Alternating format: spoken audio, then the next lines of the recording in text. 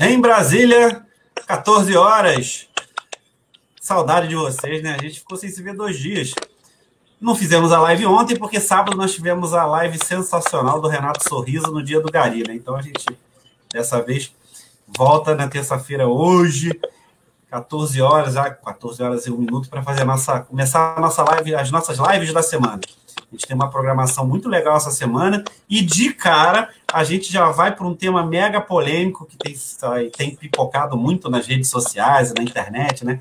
Então a gente já vai, obviamente, falar. Ela já é parceira nossa, de vez em quando vem, vem participando de algumas lives conosco, mas hoje ela não é, ela não vai ser, é, ela não vai entrevistar. Hoje ela vai ser entrevistada. E o tema, claro, mais do que polêmico e nada mais importante do que trazer uma professora para falar sobre qual o papel da mídia nessa pandemia. Né? Será que está tendo exagero? Está tendo sensacionalismo? A mídia está exagerando? Por que, que não fala notícia boa? Né? A gente, a gente, eu, eu leio muito isso. Por que, que não dá notícia boa? E os curados? Então, a gente, para resolver essas questões, tirar a dúvida da galera que certamente vai entrar para perguntar, entender um pouco de como funciona o papel da mídia, a gente tem que trazer uma professora com um currículo para lá de invejável para poder dizer para vocês o papel da mídia.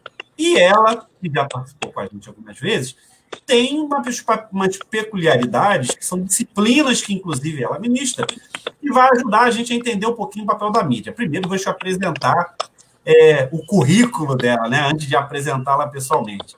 Ela, é, ela possui graduação em comunicação social e jornalismo pela Universidade Gama Filho. Olha, acho que deve ter a quarta pessoa que eu entrevisto que, é, que foi da Universidade Gama Filho, e há poucos dias atrás, semanas atrás, a gente publicou fotos é, lastimáveis da situação da Gama Filho ultimamente. Mas, enfim, vamos tocar a bola. É especialista em gestão estratégica de ensino à distância, pelo SENAC de São Paulo, e tem mestrado em tecnologia pelo Centro Federal de Educação Tecnológica Celso Sukov, da Fonseca. Atualmente, ele é professora dos cursos de jornalismo e publicidade do Centro Universitário Augusto Mota, quem não conhece a Uniswan, e é professora das disciplinas de técnica de entrevista, reportagem, apuração e pesquisa de dados e teoria do jornalismo, redação. Olha, eu vou parar por aqui, senão a gente vai ficar falando meia hora o currículo dela, mas o mais importante é que ela está com a gente hoje. Boas-vindas para você, Miriam. Obrigado pela presença. Obrigada a você pelo convite. A professora Miriam Magalhães, deixa eu até tirar os nossos créditos para mostrar bem o nome dela, a professora Miriam Magalhães vai trazer para a gente uma, um, hoje um assunto que, para discutir nas redes sociais, é um assunto bem viscoso para discutir, né, professora?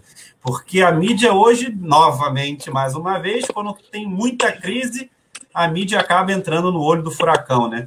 E aí a professora que hoje, que apesar de especialista em ensino à distância, que hoje deve estar exercendo muito, né?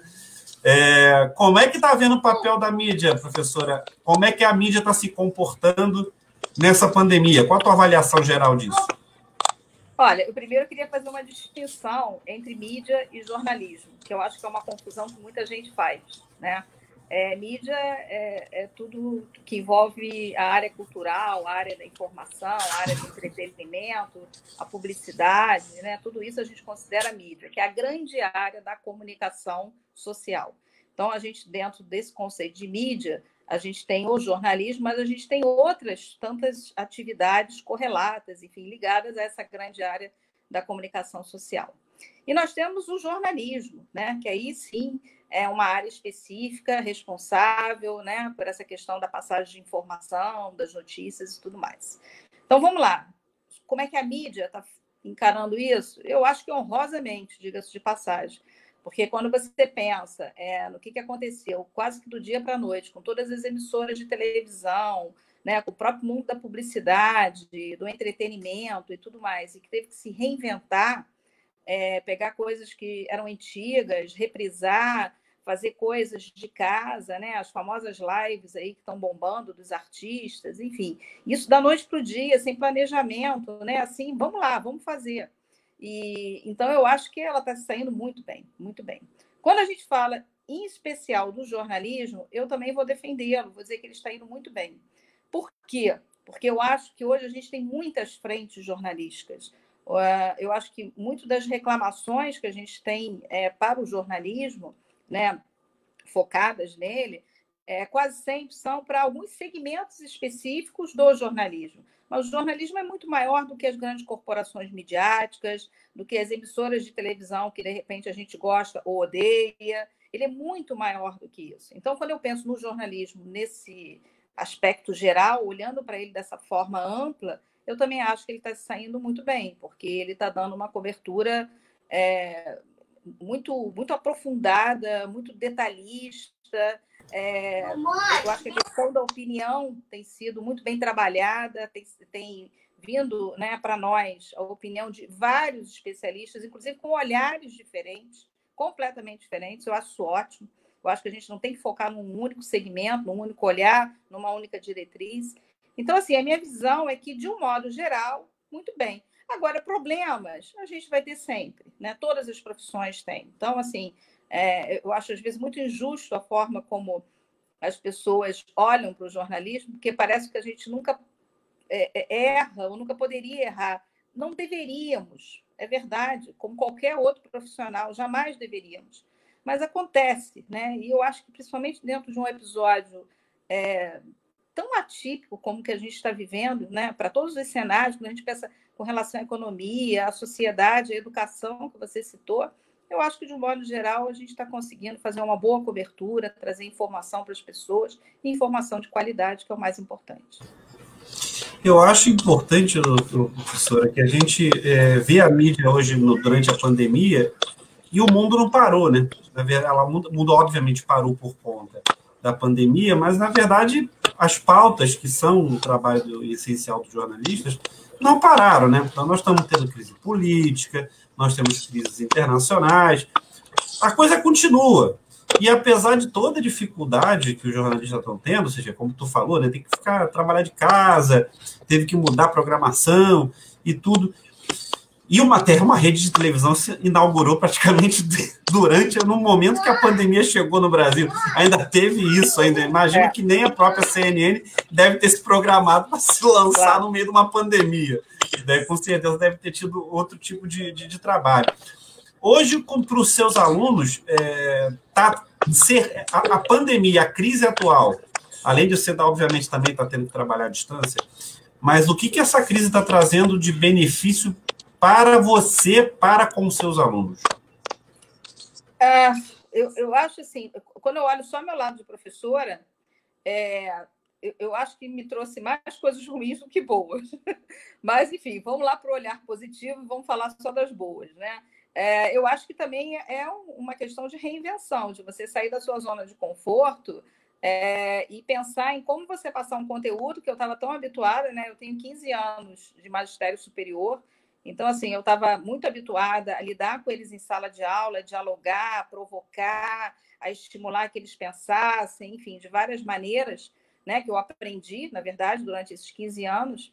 É, e a maior parte dessas técnicas, né, que foram intuitivas, mas que eu comecei a perceber que davam certo em sala de aula, não se aplicavam nesse formato à distância. Então, assim, eu acho que a primeira coisa que fez comigo foi me tirar dessa zona de conforto. Porque também da noite para o dia, como eu falei, que tudo aconteceu literalmente da noite para o dia. Eu dei aula numa sexta-feira, à noite, à noite, saí da faculdade 10 e meia da noite. Na segunda-feira, eu dava aula numa outra instituição, às 8 da manhã, eu já não dei.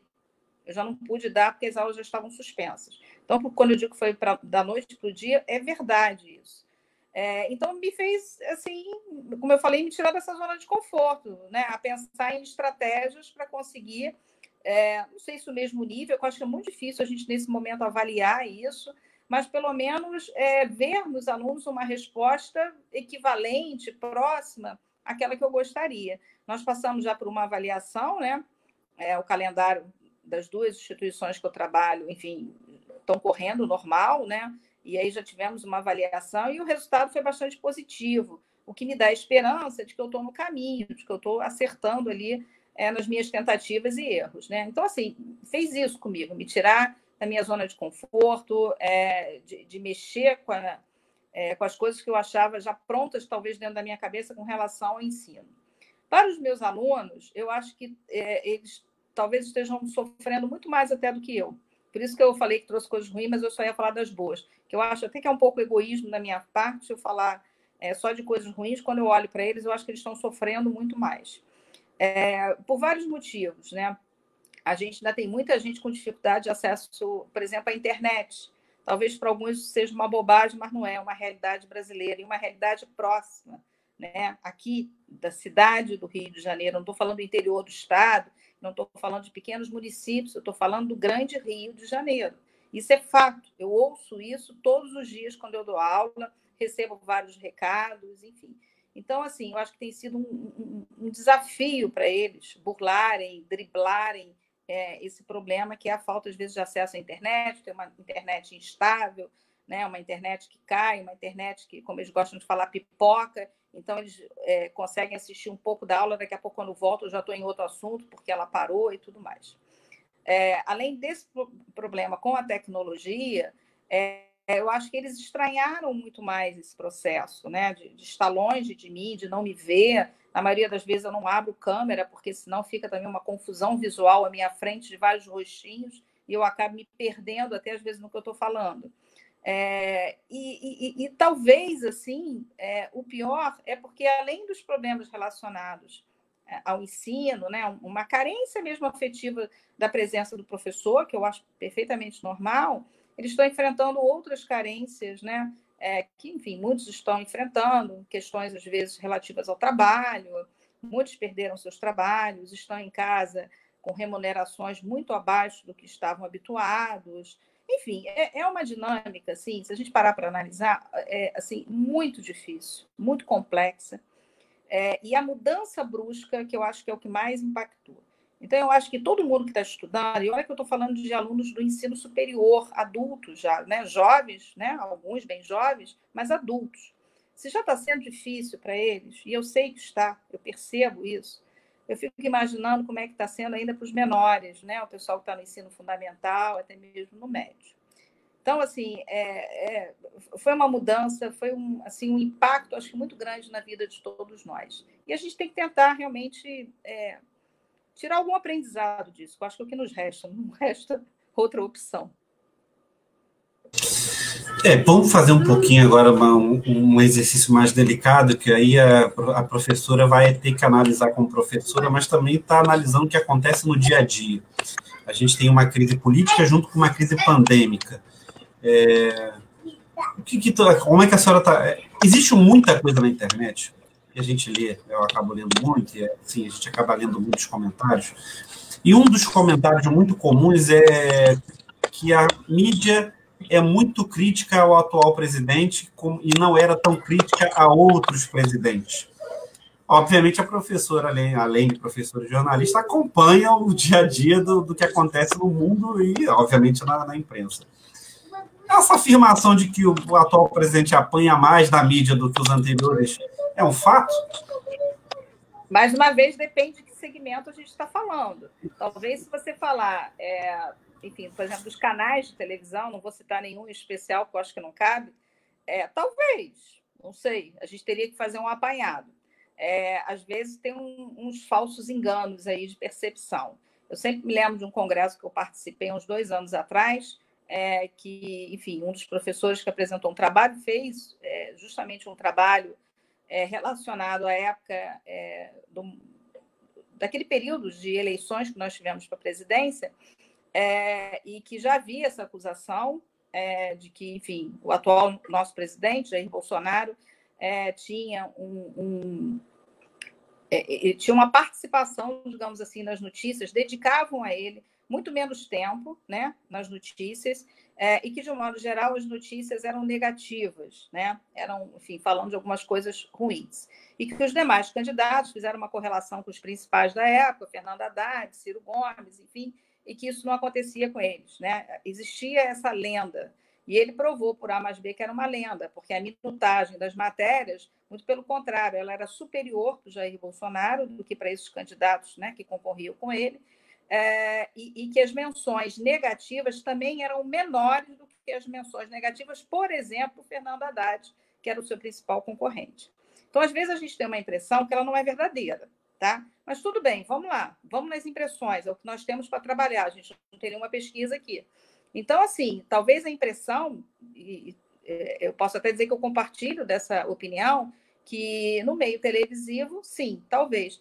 Mas o problema é a gente é, achar isso, é mais um engano que a gente tem aí, enfim, é, que a imprensa se resume à televisão. A imprensa é muito maior do que isso.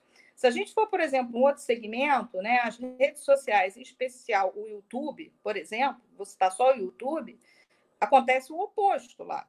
Você tem muito mais material a favor do nosso presidente, é, e, enfim, de todas as atitudes, de todas as opiniões né, que ele tem tomado, enfim, que, que, que ele expõe claramente, do que pessoas defendendo outras opiniões, enfim, outras vertentes ideológicas aí. A gente tem um, um, uma gama muito grande de, é, de aparatos, digamos assim, de, de, que são vários formatos, não daria para a gente dizer que são só notícias, a gente tem filmes, entrevistas, enfim, uma série de coisas é, muito mais voltados, como eu falei, para o segmento lá do Jair Bolsonaro, né? que é, enfim, um pensamento ideológico mais de direita e tudo mais. Então, assim, depende muito de que segmento a gente está falando. Por isso que no início da minha fala eu falei, quando a gente olha na, na, no geral, eu acho que ela está fazendo o seu papel, porque eu acho que ela tem que falar de todos os lados. Né? Eu acho que sim, a gente tem um pensamento é, aqui no Brasil, em especial, ideológico, muito voltado para uma direita, uma direita mais conservadora, e ele deve, deve, sinceramente, a minha opinião, ter seu espaço na mídia, assim como eu acho que também o oposto a ele deve ter. E aí, mais uma vez, quando eu olho no geral, eu acho que tem. Agora, se você fica restrito a um canal de televisão, se você fica restrito né, a um meio de comunicação, é muito provável, acho que pode acontecer, isso que você está falando diversifiquem. É isso que a gente tem que fazer. O problema é que a gente não diversifica. A gente fica centrado ali, fala mal daquele canal, que muita gente fala, diz que está errado, que é isso, que é aquilo, mas não diversifica, continua só assistindo aquele telejornal, por exemplo. Diversifiquem, olhem para outros lugares, olhem para outros meios, é, leiam o jornalismo alternativo, que está fazendo um trabalho maravilhoso. Tá? Eu tenho uma série aqui que eu acompanho, que tem um trabalho primoroso. Enfim, aí você vai ver outros olhares, outras opiniões, e aí é o melhor, porque aí a gente consegue extrair realmente o que a gente acha importante, o que a gente acha válido e formar a nossa opinião. É, tá vendo como é que é diferente quando a gente fala com alguém que é da, da, da, didático da profissão, né? Consegue trazer uma opinião muito mais, é, muito mais firme, muito mais palatável para a gente. A Raquel até mandou uma mensagem para você aqui, ó concordo com essa visão. O papel da mídia nesse momento é muito importante, pois para mim ela é neutra. Como é que é o papel da, da, das pessoas, né? Elas observam algum, algumas coisas, concordam com isso, com aquilo. Eu vou entrar no, no, no assunto também delicado de momento que se chama hidroxicloroquina e a cloroquina. E aí eu quero falar não, não do, do remédio em si, eu quero falar do papel da imprensa com relação a como falar disso. Porque a imprensa chega e observa: olha, eu tenho um médico que fala que é bom usar, eu tenho um médico que fala que não é bom usar. O que, que, que, que sobra para a mídia? A mídia ouve e acredita em quem? É, eu acho que ela ouve e, em princípio, né, pelos princípios do jornalismo, não deve acreditar em ninguém. Ela deve apurar, ela deve checar, né? Então, eu ouvi de um determinado especialista tal opinião. É, qual é meu dever? É ouvir de outros especialistas a sua opinião. Se você ouve de um, dois, três, sei lá quantos, né? A gente no jornalismo a gente tem uma, uma espécie de piada interna, né? Um, um jargão da profissão que a gente deve sempre trabalhar com é, fontes ímpares. Ou seja, se você vai entrevistar alguém, sempre entrevistar três, cinco, sete, pela questão do desempate, simples assim, tá? Nem sempre isso é possível, a gente cada vez vive um jornalismo mais urgente, com pressa, imediatista, né? Isso a internet trouxe ainda mais aguçado para a nossa profissão, já trabalhávamos assim, mas óbvio que a internet, de certa forma, fez isso ficar pior, né? E, e às vezes não é possível fazer isso que eu estou falando. Mas vamos imaginar um mundo ideal, né? Mundo é, daqueles que todos nós queríamos viver, que é possível. É isso que devemos fazer. Ouvimos um, ouvimos o 2, ouvimos o 3, ouvimos o 4, o 5, quantas pessoas forem necessárias. Agora, se todas falam a mesma coisa, sabe, aí eu acho que também uma questão de é, lógica, né? De, de, de, coisas que são muito claras à nossa frente. Se todos estão falando a mesma coisa, é isso que supõe ser a verdade.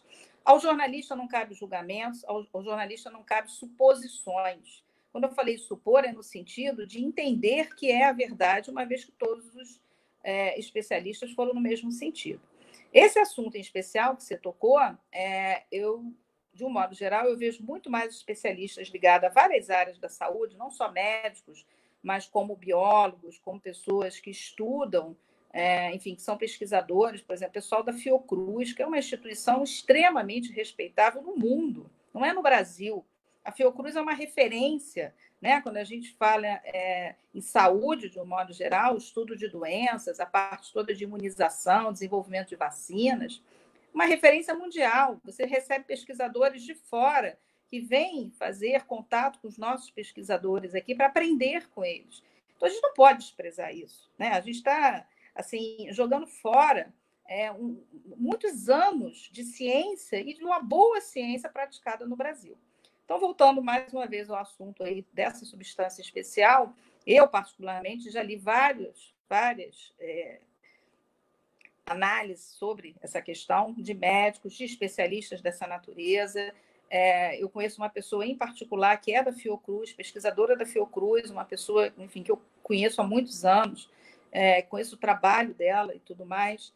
É, ela, assim que saiu essa história, eu batendo um papo com ela, até por um acaso, ela me mandou uma série de artigos publicados no exterior, é, também de outros institutos, e todos apontavam para o mesmo caminho. Então, assim, é, eu acho que não é uma questão de defender ou de dizer que está é, errado. Torno a repetir, é uma questão do que está óbvio, do que está posto na nossa frente. Né? Outro dia eu fui indagada por um ex-aluno meu nas redes sociais é, se eu tivesse com um parente meu a morto, se eu não deixaria é, ele fazer uso da cloroquina.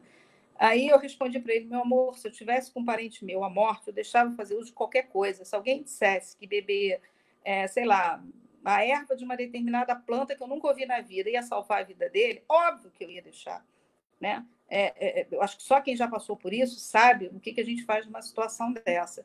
Então, assim, eu acho que se a cloroquina tem algum tipo, algum tipo, é, sei lá, de composição, porque, pelo que eu sei, ela nunca é usada sozinha, é sempre uma combinação dela com outras substâncias, que possa, é, em alguns casos, é, salvar a vida de uma pessoa, é claro que ela deve ser ministrada, e como eu sei que está sendo, que existe um protocolo hoje já estabelecido pelo Ministério da Saúde para o uso nessas pessoas em estado realmente crítico, muito grave.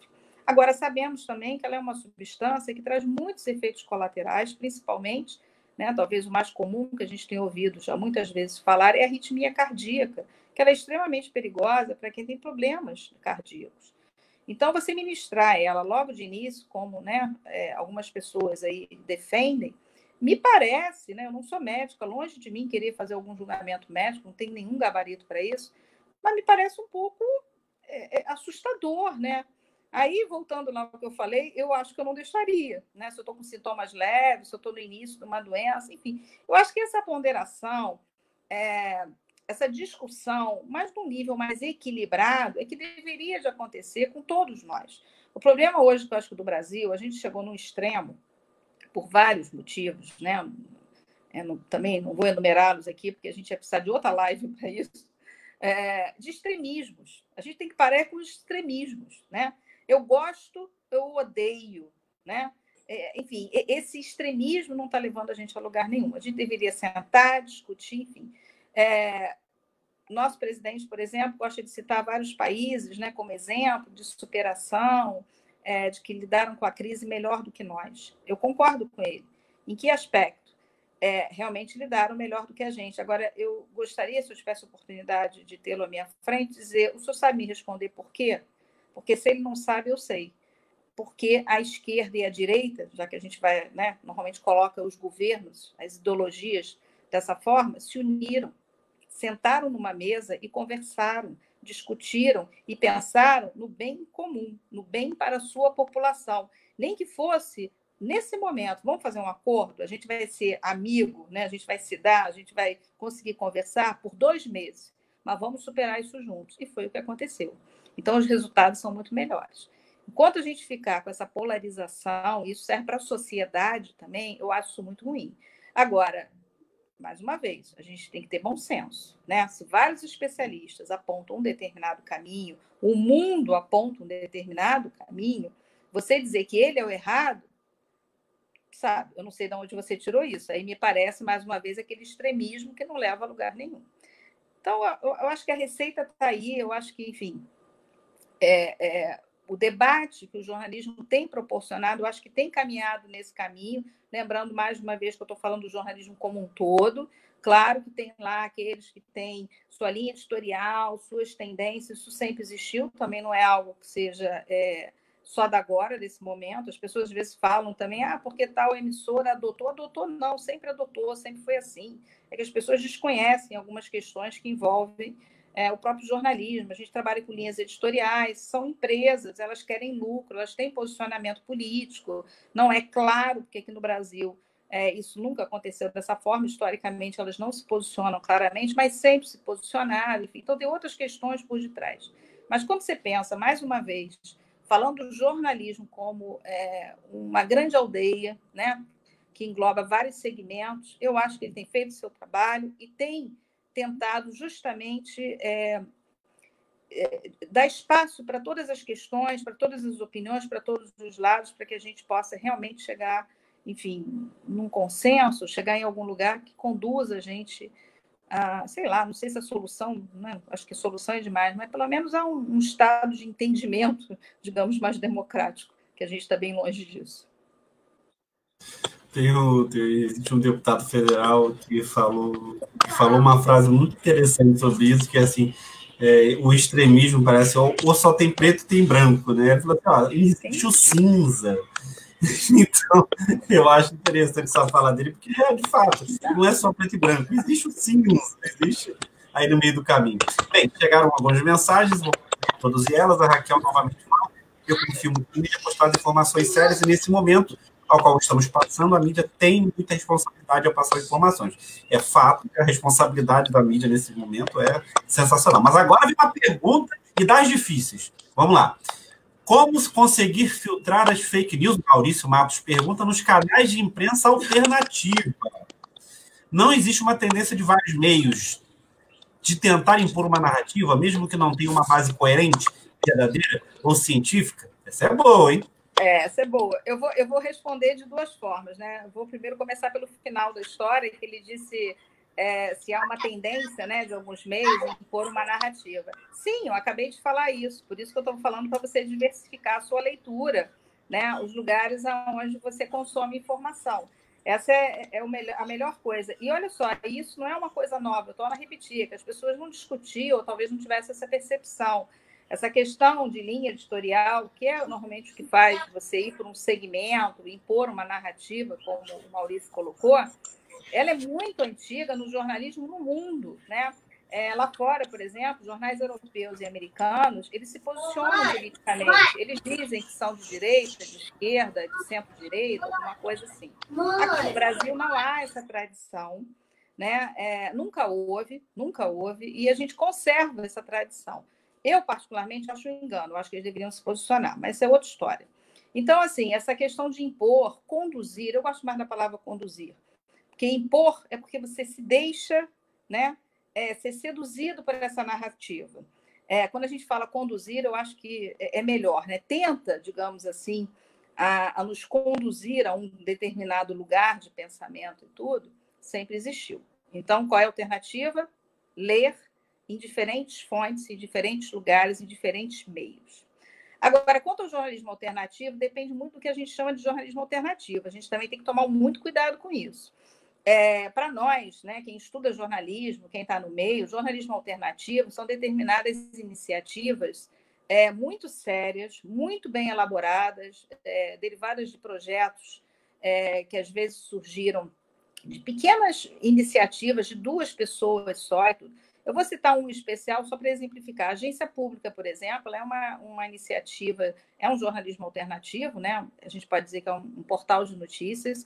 Ela começou pela iniciativa de alguns jornalistas amigos que estavam muito incomodados exatamente com as fake news, exatamente com isso. E, na verdade, eles fundaram uma agência de checagem de informações, que nós chamamos de fact-checking no jornalismo. É, e começaram a trabalhar exatamente com isso. Eles tinham lá seus empregos, cada um tinha lá o lugar onde trabalhava, o jornal, o canal de televisão, enfim, não importa. E eles montaram, como eu falei, essa iniciativa é, por eles, né, algo que saiu deles, e começaram a checar algumas informações quando as, as chamadas fake news ganharam essa dimensão que hoje nós temos.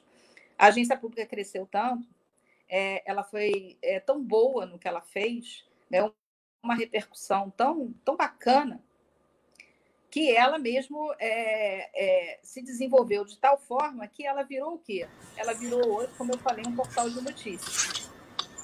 Saindo do ar, a gente está aproveitando aí, Miriam, estamos até dividindo a tela para ah, tá. mostrar um pouco da agência pública. É, porque a minha tela ficou preta, achei que a gente ia sair do ar, mas tudo bem. Então, só para complementar. Não, ainda estamos aí. Nós temos várias iniciativas como agência pública, tá? Não vou citar nomes aqui, parece que eu estou fazendo propaganda e eu não ganho nada com isso. Mas são iniciativas muito boas de jornalismo, jornalismo muito bem feito, muito bacana. O problema é que a gente põe nas, na, na digamos assim, na mesma bolsa que está esse tipo de jornalismo que eu acabei de citar, é, por exemplo, nosso espaço de opinião na internet, nosso espaço de, de, pessoa física, né?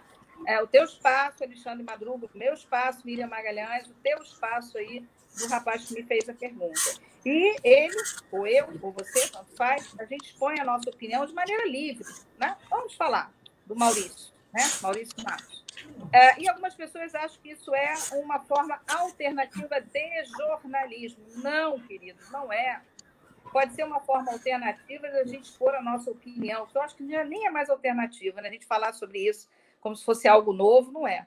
Está posto, está velho, todo mundo tem, etc. Tal. Mas é um espaço de opinião meu, pessoal. Todos nós temos direito? Claro que temos. A gente vive numa democracia, em tese, a nossa Constituição Federal, inclusive, tem lá né, um artigozinho que fala sobre isso, né, nos garante o direito à liberdade de expressão. Então, sim, todos nós temos. Agora, achar que isso é jornalismo é que está o erro. Isso não é jornalismo. Isso é um espaço de opinião pública social de uma pessoa. Então, por isso que eu acho que a gente tem que tomar um cuidado. Que eu saiba, que eu tenha conhecimento, esses espaços de real, real, jornalismo alternativo, é, que a gente considera, como eu falei, quem estuda o jornalismo, né? citei a agência pública como exemplo, eu não conheço fake news nesse espaço, muito pelo contrário. Eles trabalham com uma checagem muito forte. A agência pública, embora não seja hoje, por exemplo, mais uma agência de checagem, ela não é mais especializada nisso, mas ela continua checando informações que chegam até ela e que ela é, considera que, enfim, possa ter algo errado, ter alguma dúvida, alguma coisa. E temos hoje espaços de jornalismo alternativo, só faz isso, só checagem de informação. Uma outra coisa que eu queria falar, se você me permite, já que você falou de fake news, Fake news não é produto jornalístico, tá, gente? Por favor, tirem isso das nossas costas, porque é um peso que a gente carrega que não, não, não pertence a gente. A gente não inventou as fake news, a gente não propagou as fake news, a gente não incentiva as fake news. Fake news é uma estratégia, uma estratégia de mercado, né? uma estratégia de mercado ideológico, enfim, vamos por esse caminho, mas é uma estratégia que não pertence ao jornalismo, nunca pertenceu. Jornalismo que é verdadeiro, que é jornalismo, nunca fez fake news e nem nunca vai fazer. E nem muito menos propagar. E, e o advento da, da de, sim, ou seja, das mídias alternativas ou das redes sociais, teve que fazer o próprio jornalismo se reinventar de criar, inclusive, é, colunas específicas para fato, fato fake, agência, enfim o jornalismo acabou tendo que se adaptar a uma outra realidade para tentar acabar efetivamente com fake news. Né? E carrega uma culpa que não lhe pertence, né? Verdade, ó, ele chegou uma próprio resolveu, né? Ele próprio resolveu, de certa forma, tentar minimizar isso, torna a repetir, de um problema que não foi ele que causou. Mas enfim, vamos lá. É, é, verdade, isso aí é fato. Não é uma, isso não é uma tribo, não foi uma invenção do jornalismo, né? O jornalismo está tentando resolver, mas não é uma solução, não é, não é do jornalismo. A Raquel pergunta: por que será que nesse momento a mídia está sendo muito atacada? Vimos no domingo uma mulher apoiadora de um grupo agredir uma jornalista. O que a senhora pensa sobre esse comportamento?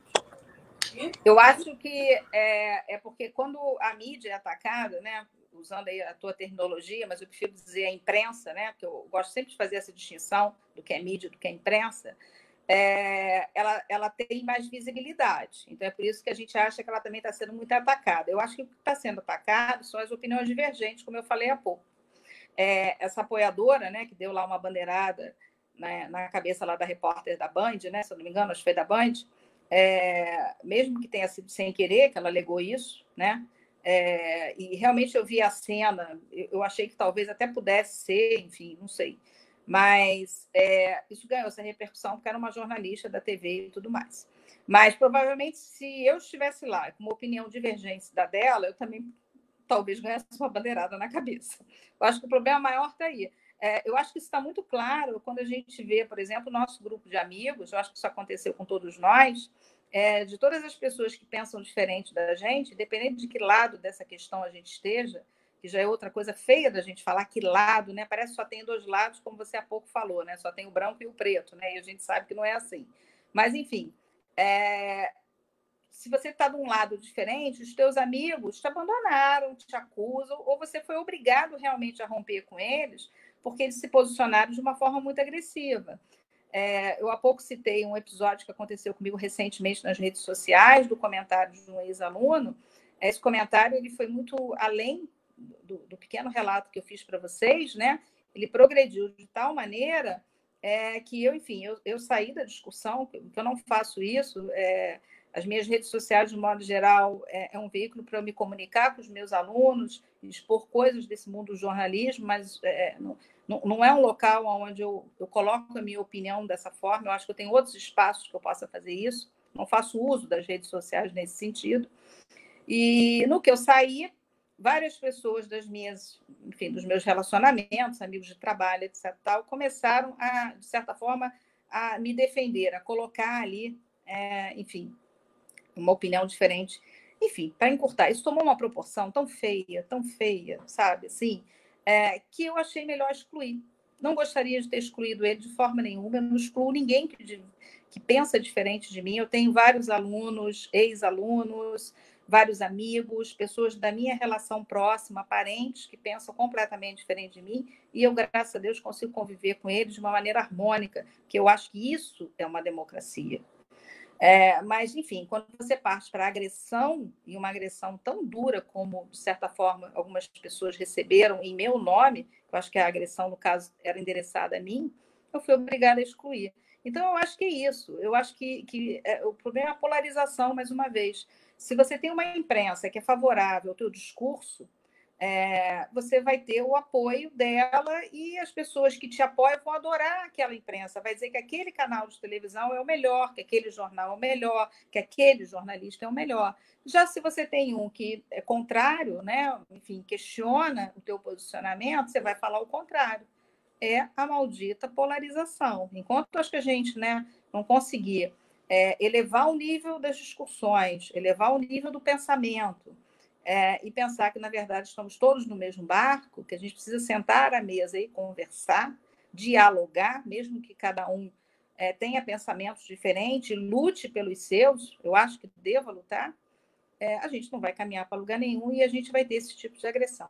Mas eu torno a repetir, eu acho que a questão é, da mídia em especial, da imprensa, né, lembrando aí a pergunta da Raquel, é, é, é muito porque a gente está em exposição pública e parece que a gente está sendo mais agredido do que outros segmentos da sociedade. É, isso é uma verdade e eu, eu acrescento a, a posição da professora que, é, na verdade, não tem debate. Na verdade, o debate acabou. Isso que eu acho que é a maior, é a maior crítica. Acho que o debate acabou. As pessoas é, não é do meu jeito que penso, não é, virou inimigo e briga. Minha, minha, minha esposa, que também é professora, teve o mesmo problema que a senhora teve. Um aluno, ex-aluno, entrou na rede social dela, a coisa de, desenvolveu para um nível de agressão tão gratuita que ela foi obrigada a excluir. E é inacreditável. Assim, nem mais a liturgia do professor é respeitada, né? Ou seja, o que, que é o, o professor é, assim, é um desrespeito. Eu, eu, eu acho que as pessoas têm que ser respeitadas, Madruga, mas as pessoas, independente do posto, independente de hierarquia, É, eu não acho que ele devesse me respeitar, porque um dia eu fui professora dele, mas porque eu sou uma cidadã, uma mulher que pensa diferente dele. Mas eu dialoguei com ele, eu fui bastante, é, eu acho que até gentil na forma de colocar a minha opinião. Então, assim, é isso que, que me deixa, às vezes, um pouco estarrecida, é, eu torno a repetir, com essa polarização. Quando ele percebeu que o meu pensamento era divergente do dele, ele partiu para a agressão. Isso entristece, né? Claro, a mim me entristece muito. Né? Além de entristecer, emburrece. Né? Porque eu sempre falo, às vezes eu faço alguns comentários, às vezes é necessário ser um pouco mais é, incisivo, é, eu tenho a impressão que emburrecemos. Porque o debate ele é salutar, ele é saudável, ele, é, ele, ele, ajuda a crescer, ele ajuda a corrigir, ajuda as pessoas a, a, a reconhecer os próprios erros, enfim, a mudar opiniões. Claro. Inclusive, um bom debate faz alguém, de repente, mudar de opinião. Então, a, a ausência do debate é absolutamente emborrecedor. Mas, enfim. Eu quero pegar um detalhe mais curioso aqui, e aí eu vou falar com aquela professora que, que, que gosta de analisar discurso é, e gosta de pegar com detalhe é, as minúcias do que se fala, do que se diz. Isso para uma professora que para análise do discurso deve ser muito importante. É, mas a gente tem hoje um governo federal que se comunica através, através, do, através de Facebook, através das redes sociais. Não é a mesma liturgia anterior, anteriores de que sempre era um canal institucional e tinha um, posicionamento mais frio, talvez seja o termo, mas era, uma, mas era um posicionamento mais comedido, né? era uma coisa institucional, informativa, não opinativa, um pouquinho às vezes. Mas, enfim, é, hoje a gente tem um, um executivo que se pronuncia. E aí, quando eu falo executivo, estou falando presidente, governador, prefeito, isso virou uma tônica. O executivo agora fala pelo Facebook. O executivo agora fala pela rede social. A professora sentiu alguma diferença no jeito de se comunicar? Total, total. E, e assim, isso é, um, é, isso é um fenômeno que é, começou lá fora, né? A gente sabe disso. É, muitos relacionam, por exemplo, toda a conduta, toda a forma, é, principalmente do nosso presidente, é, de lidar com a comunicação com seus eleitores é, com Donald Trump dos Estados Unidos, né? É, mas isso é até anterior a, ao Trump fazer esse tipo de uso. Já tinha alguns anos, uns bons anos, que a gente estava é, percebendo é, que os políticos, de um modo geral, é, tinham se apropriado desse canal de comunicação, internet, redes sociais em especial. É, isso até acho que demorou um pouco a chegar, é, não só no Brasil, isso certamente demorou, mas acho que a chegar até nesses cargos é, eletivos de primeira classe, como a gente costuma dizer, que são normalmente os cargos que nem você falou do executivo, né? É, presidência, é, governadores, etc. Tal. É, o que, que aconteceu, no meu entendimento, e, e, aí vai um pouco olhar de pesquisadora, né? Eu já li muitos trabalhos sobre isso, é, já estudei até alguma coisa sobre isso, não sou especialista, longe disso, mas enfim, teve um momento da minha vida que eu tive é, interesse nessa questão eu, eu acho que tem é, no primeiro é, eles tomaram digamos assim essa iniciativa é, porque eles entenderam que era um lugar um lugar de sociabilidade. Então era um lugar de proximidade. É, eles entenderam é, que as redes sociais em especial eram um local que eles podiam se aproximar de uma forma é, pensando em comunicação e meio de comunicação como nenhum outro tinha proporcionado até então para eles. Era quase que falar no ouvido de cada um dos eleitores, era quase que um papo individual com cada um dos eleitores. Eles tiveram essa percepção é, muito mais cedo é, do que talvez alguns outros segmentos, até da sociedade, até de empresas, até de, enfim, de outras coisas. Isso é o primeiro elemento. Mas quando chegou aqui no Brasil, em particular, é, chegou com, eu diria que um problema, né? Porque isso lá fora aconteceu para qualquer segmento ideológico, para qualquer tipo de pensamento. Então, o pessoal da esquerda fez isso, o pessoal da direita fez isso, de centro-direita, de centro-esquerda, ou seja, lá a denominação que tenha, todos entraram nessa seara de usar as redes sociais e de conversar com o seu eleitor, como eu falei, dessa maneira mais próxima. Só que quando veio para o Brasil, não. Aí é que está o problema. É, a gente hoje tem, é, e isso os trabalhos científicos mostram para a gente, isso não é, é coisa de, é, sabe, ah, eu acho que é isso. Não, não acho, não. É, não é achismo, eu ia falar isso, não é achismo. Não, tem trabalhos científicos que provam isso, é que a gente tem muito mais atuação no Brasil, em especial, de uma extrema-direita, de um pensamento de extrema-direita, é, que usa das redes sociais para fazer a sua comunicação e, e, e colocou essa comunicação como a sua principal, né, como a, a, a, que é oficial, como você falou, do que, por exemplo, os outros pensamentos. Não preciso nem lá no radical de esquerda, não, todos os outros.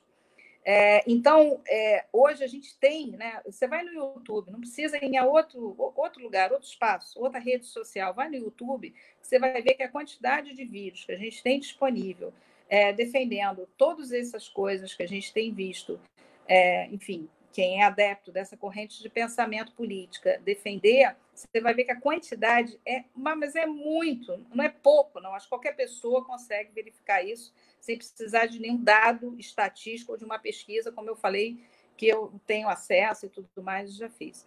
Então, eu acho que é isso. Eu acho que é, é, eles foram inteligentes, muito inteligentes, eu reconheço, é, e uma inteligência é, relativa à comunicação, de entender como esse canal tinha um potencial, como ele podia realmente aproximar os eleitores é, do que eles gostariam, né? poderia é, fazer essa, essa é, comunicação tão fácil e tão íntima, né? que faz com que a gente ainda acredite mais. Né? Eu estou falando com um amigo, eu estou falando com uma pessoa que eu confio, entendeu? Então, como eles foram inteligentes em perceber isso e usar, e usar de maneira muito estratégica, aí não foi só percepção, não foi só feeling, houve estratégia por detrás disso, estratégia de marketing muito forte, muito bem feita, muito elaborada, e se tornou no que a gente está vendo hoje, né? Eu, eu conheço várias pessoas que, por conta né, desse fenômeno que aconteceu no Brasil, é, falam isso para mim assim na boa, eu não acredito mais na televisão, eu não acredito mais no rádio, até o jornal impresso, que eu achava que era né, o top, não acredito mais. Eu agora só redes sociais.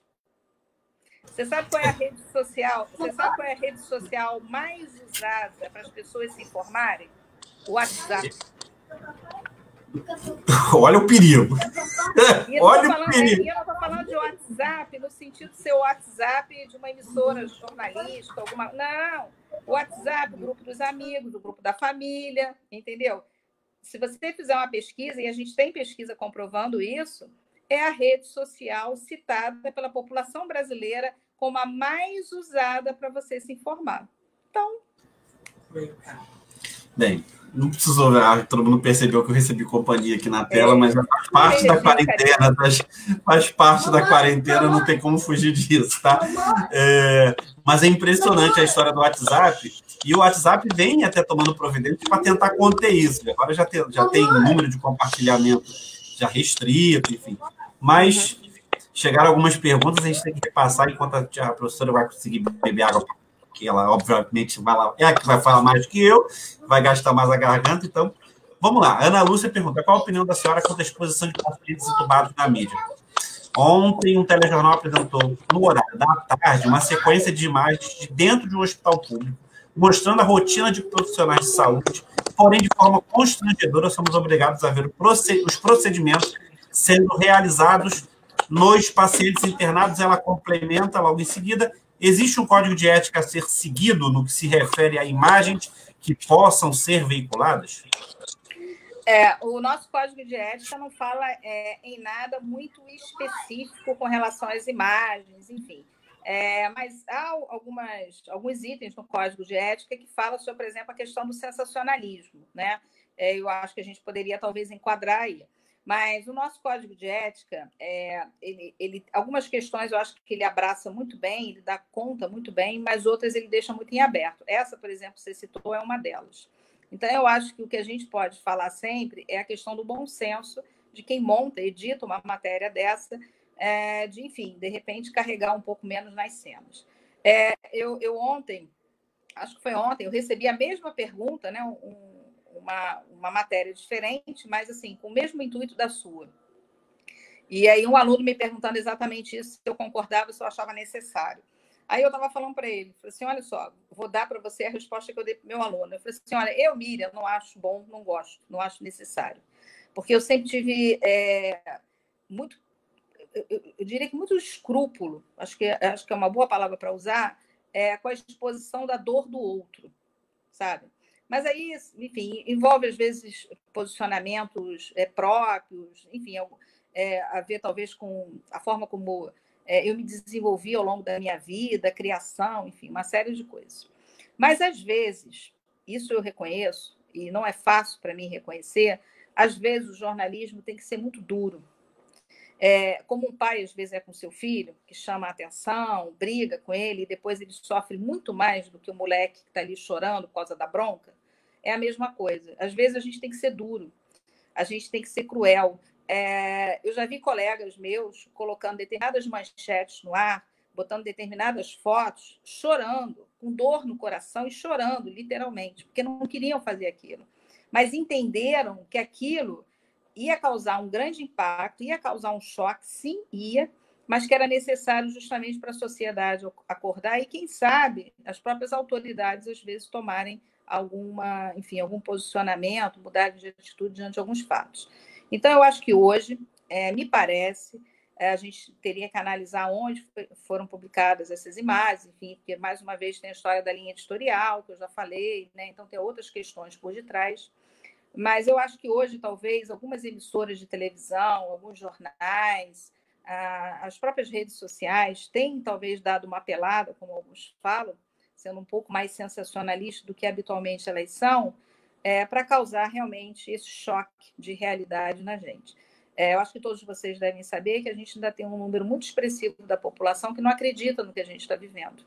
Né? Não acredita que seja sério essa pandemia, que esse vírus seja tão letal e tudo mais.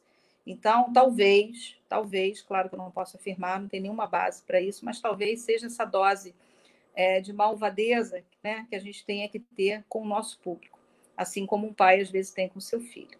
Sobre a questão assistir ou não assistir, vamos lembrar que a gente tem sempre a opção de não assistir, né?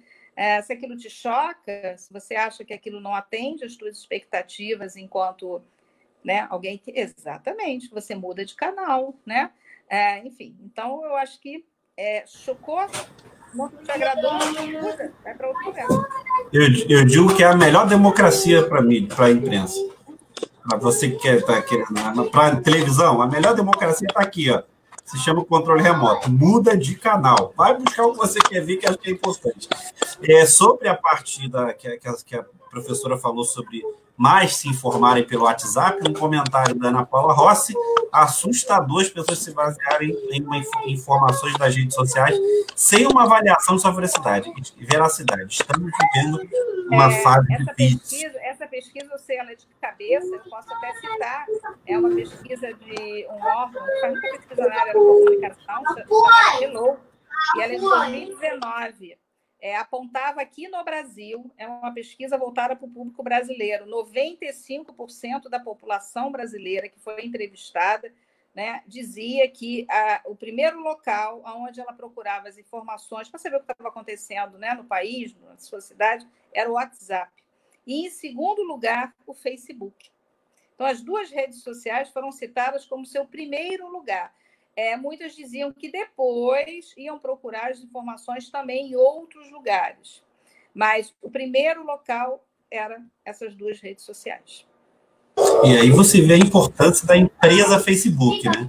Que, por sinal, é dona dessas duas mídias. Ou seja, tu vê o tamanho do poder que a mídia Facebook tem sobre uma parte da população. Lembrando que também, também é fato que o Brasil é quem mais domina a rede social Facebook.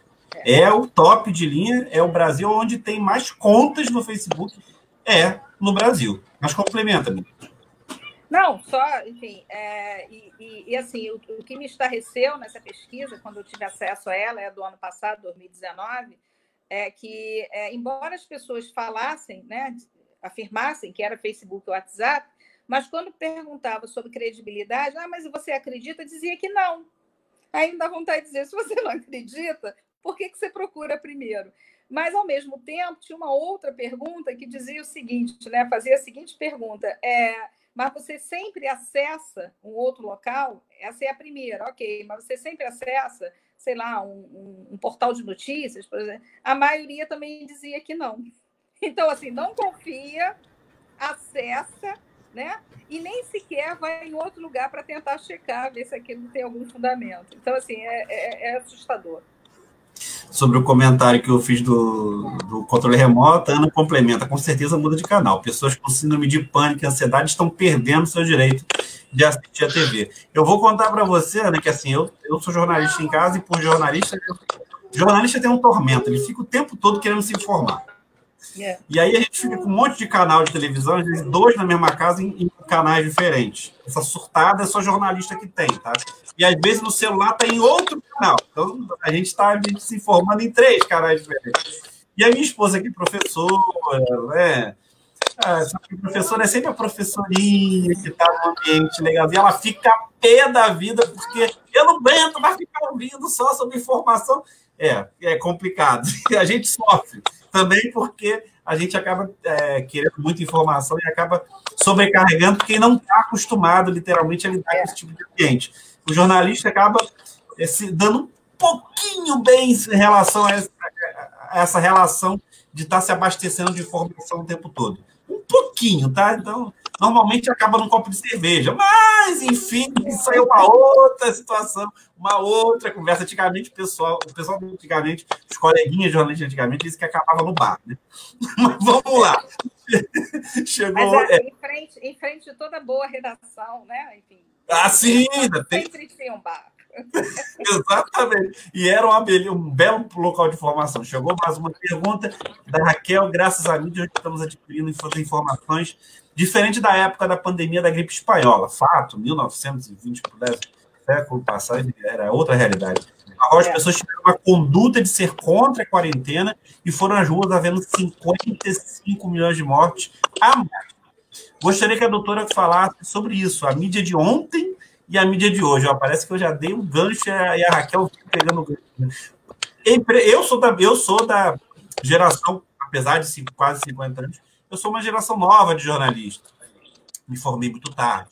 É, então, assim, eu já estava com a internet meio no meu ambiente de trabalho. Então, assim, a apuração para mim já começou com a internet existindo, né? E eu acho que a pergunta da Raquel era mais ou menos isso. Como é que era essa apuração antes, né? Quando não tinha internet? O que fazia o jornalista? A gente ia para a rua, né? Assim, é, outra coisa que acontecia nas redações, é, principalmente o jornal impresso, acho que o jornal impresso sempre teve isso um pouco mais forte, é, que você de manhã a redação estava cheia, você chegava, pegava as pautas, né, via o que estava acontecendo. Às vezes a gente lia é, jornais de fora, é, via canais de televisão de fora, né? Toda a redação, você já viu redação, sabe como é que é, né? Aquele monte de televisão ligada, aquela maluquice. E, e enfim, aí fechávamos mais ou menos as pautas por editoria, né? Cada um com a sua área, pessoal de cidade, geral cobria, né? Obviamente a cidade, toda a parte de polícia, de modo geral também, pessoal de política, mesma coisa, assim vai. E quando dava a hora do almoço, a redação esvaziava a parte da tarde, numa redação, por exemplo, de impresso, isso acontecia às vezes nos canais de televisão, é que variava porque os canais de televisão sempre tiveram jornais em horários diferentes, né? Tinha é, jornal de manhã, tinha hora, é, jornal na hora do almoço, à noite, então por isso que era mais variável, mas no impresso era muito claro. É, esvaziava, não tinha ninguém, não tinha ninguém mesmo, ninguém, sabe que é ninguém, ninguém, ninguém, as mesas todas vazias, porque estava todo mundo na rua apurando é como é que a gente fazia, entendeu? Se você fosse entrevistar, você literalmente entrevistava, você ia até a tua fonte falar com ela. É, se você precisasse é, ir a algum local para ver, às vezes, por exemplo, quem cobria geral, cidade, algum acidente, alguma obra pública, você ia lá ver aquela obra pública e tudo mais. Então, a apuração era assim. É, eu acho que existia uma coisa boa, que era um contato mais direto, onde a gente conseguia, às vezes, captar é, algumas coisas que, com a tecnologia, acabaram ficando um pouco mais fluidas. Quando você entrevista alguém é, presencialmente, quando você entrevista alguém por um meio tecnológico, principalmente se você não tem um vídeo, como a gente agora aqui está tendo, é, muita coisa pode passar despercebida por você. presencialmente, a expressão do rosto, às vezes indícios de nervosismo, alguma coisa assim, acendem a nossa luz quando você é jornalista, é, de que algo esquisito ali, que ele está escondendo alguma coisa e tudo mais. E a mesma coisa era a apuração em loco, quando você ia no local. Você, às vezes, visualizava determinadas coisas, enxergava determinadas coisas que, às vezes, à distância são impossíveis. Principalmente quando você faz apuração pelo relato dos outros, que hoje acontece muito, né? A gente tem muita participação do público e tudo mais. Então, eu acho que, nesse sentido, houve uma perda. É, mas, em compensação, acho que essa perda ela foi suplantada por outras muitas coisas boas que vieram com o advento da tecnologia, né?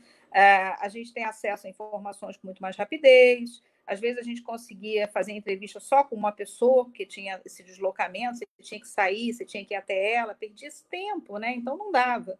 Hoje você consegue confrontar, às vezes, as informações com muito mais rapidez. Você entrevistou um, achou que tem algo esquisito, não confiou, você rapidamente consegue entrevistar outro.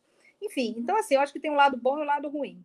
Eu, quando me formei em jornalismo, não tinha computador, não tinha internet. Então, assim, eu experimentei um pouco disso tudo né? É, é, eu não sou saudosista nesse sentido, né? Não, não, ninguém vai me ouvir falar ah, aquele tempo que era bom. Não, aquele tempo a gente tinha um monte de problema, um monte de coisa ruim para lidar. Eu acho que hoje está muito melhor. Mas, como sempre, a gente tem alguma perda. Eu acho que a melhor, a maior perda, né? É essa, da, da gente hoje não ter tanto esse contato tão direto, talvez, como a gente tinha no passado, com a informação, com a notícia, né? com o fato jornalístico. É, são tempos definitivamente novos, né? E, uh, e as pessoas às vezes não têm a ideia da noção da escolha da pauta, principalmente em geral, que acaba dependendo da, da como tu falou, da linha editorial, define praticamente certas escolhas.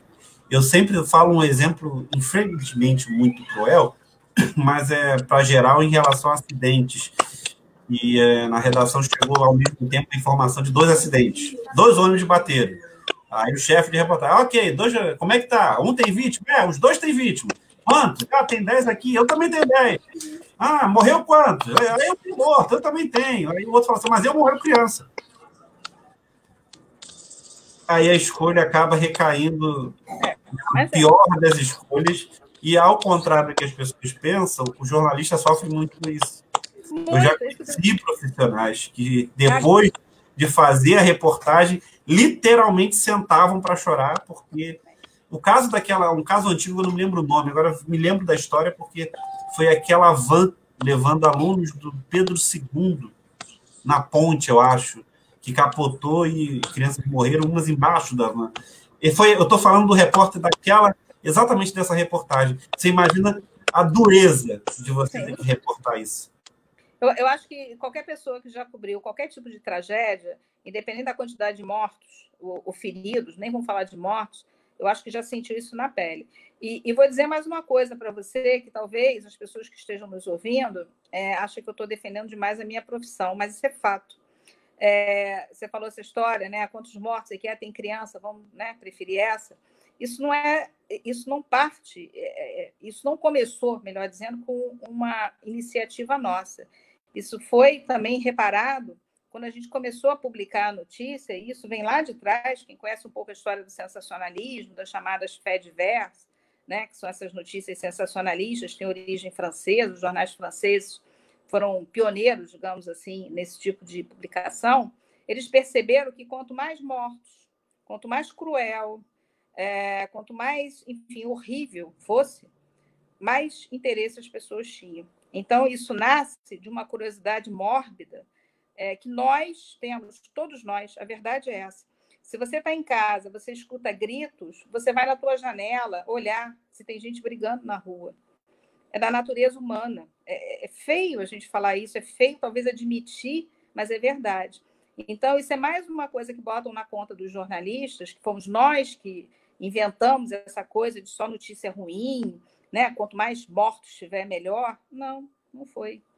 Fomos nós, público, que gostamos e ainda gostamos de consumir esse tipo de informação. E para dar um gancho fantástico, até para a gente terminar a live, já tem uma hora e quatro, estamos aqui é. utilizando o tempo.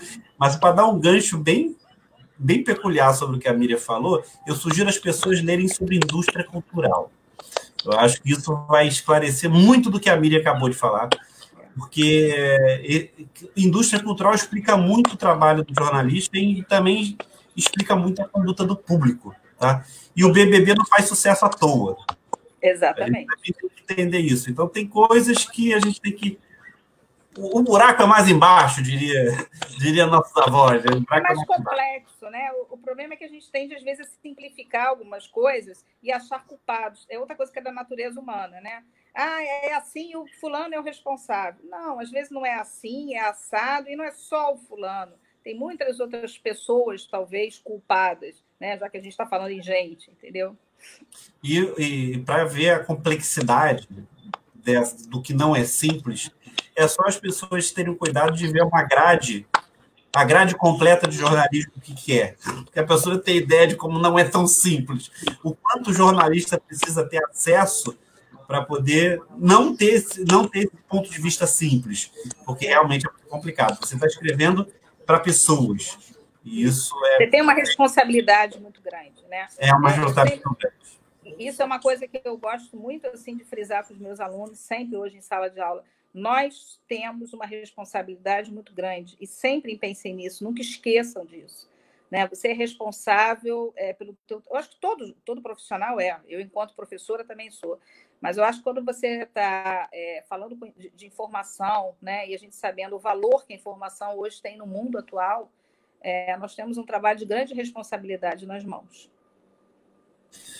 Grande responsabilidade, mas também é bom compartilhar isso como a gente pode fazer hoje. Professora Miriam é Magalhães. Essencial, né? Essencial. É, é serviço essencial, não pode ser por isso que estamos trabalhando. Exatamente. E, estamos trabalhando não à toa, mas é, fundamental é para a gente poder repassar essas informações com todo esse didatismo, com todo esse essa gostosura de se ouvir uma professora falar. Professora Miriam Magalhães, professora e jornalista, professora de jornalismo, obrigado pela presença. Portas do Sulacap New abertas. Você vai voltar algumas vezes eu sei para a gente participar junto comigo para fazer a entrevista, mas pela participação de hoje, muito obrigado. Foi um prazer. Né? É, enfim, é sempre bom falar da minha profissão, profissão que eu tenho tanto carinho, né? tanto respeito por ela. É, enfim, quando você quiser, eu puder, estou aqui para a gente compartilhar essa telinha. Muito obrigado, professora. Mas vamos compartilhar sempre. E também agradecendo a professora, também agradeço a todos vocês que estiveram com a gente nessa live até agora. Mais uma hora de live, uma interação sensacional. É bom a gente ouvir professores para poder explicar um pouco da vida, como é, né?